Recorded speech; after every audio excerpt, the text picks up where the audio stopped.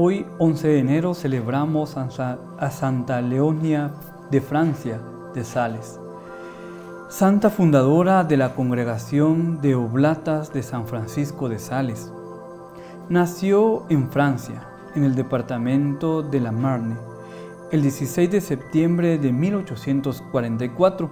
Fue bautizado el día siguiente de su nacimiento con el nombre de Leonia. Frecuentó las, primeras clases elementales en su pueblo natal, después sus padres la llevaron al monasterio de la Visitación de Troyes, pues aunque practicaba poco, eran honrados comerciantes que deseaban para su hija una buena educación cristiana. Su vida estuvo marcada siempre por ese amor a Dios, en donde ella estudió en este convento.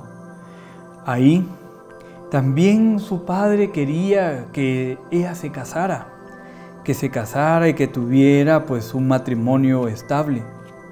Sus padres habían dispuesto para ella un matrimonio con un hombre rico y distinguido señor del lugar. Pero ella pensaba ya en la vocación religiosa y no quiso acceder al deseo de su padre. Por eso ella decide también entregar su vida a Dios ella desde muy joven sabía qué era lo que quería.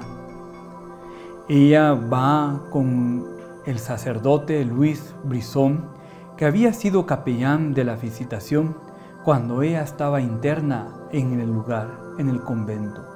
Dado su incansable celo por la protección y la formación religiosa de las jóvenes obreras que venían a los campos y ella estaba expuesta a siempre educarlas, a darles formación. Poniendo bajo la protección de San Francisco de Sales, ella empieza a dar su vida por ellos. Por eso nosotros, queridos hermanos, debemos siempre también, como esta santa que dedicó su vida a la educación, a la formación, a pesar de que sus padres tenían un proyecto, ella quiso hacer el suyo propio.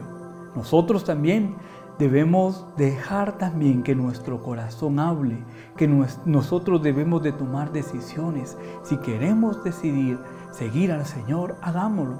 Aunque muchas veces a nuestro alrededor hayan planes que tal vez asemejan muchas cosas buenas, pero que es necesario optar y si debemos optar por el Señor, que podamos nosotros dedicarnos a Él con un corazón desinteresado y sobre todo buscando siempre nuestra vocación.